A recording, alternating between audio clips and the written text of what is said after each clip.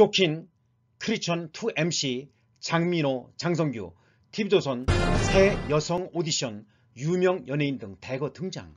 TV조선 여성 아마추어들을 위한 오디션, 쇼킨, MC, 크리천, 장민호, 장성규. 장민호님의 종교는 기독교이고요. 역시 장성규님의 종교도 기독교입니다.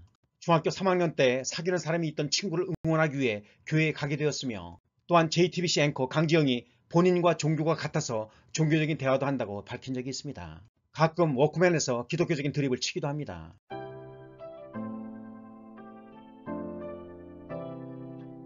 TV조선 또 오디션 장민호, 장성규, 쇼킨 MC TV조선 올 6월 새 프로그램 쇼킨 방송 MCN 장성규, 장민호 송가인, 이명웅 탄생시킨 TV조선 작정하고 새 오디션 프로그램 또 만들었다.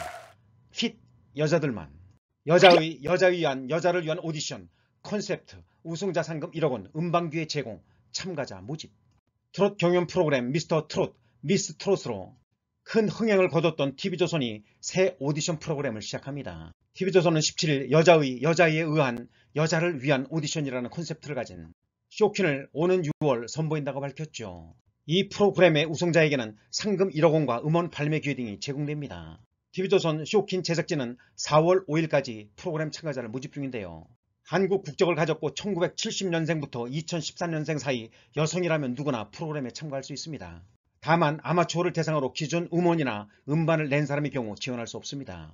쇼킨의 진행자는 미스터 트롯의 주역 가수 장민호와 방송인 장성규가 맡았습니다.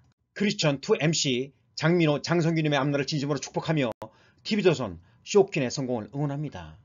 앞으로도 꽃길만 걸으시기를 위하여 기도하겠습니다. 오늘의 양식 키포인트 바이블 골로새서 4장 2절 기도를 계속하고 기도에 감사함으로 깨어 있으라 오늘도 성령님과 동행하며 축복받는 하루가 되시기를 기원합니다. 살다 보면 기도밖에는 아무것도 할 수 없는 그런 순간들이 찾아온다. 모든 문제의 해답은 예수 그리스도이십니다. 마음에 감동이 있으신 분 가까운 정통 교회로 나가세요. 예수님을 정말로 사랑하는 크리스천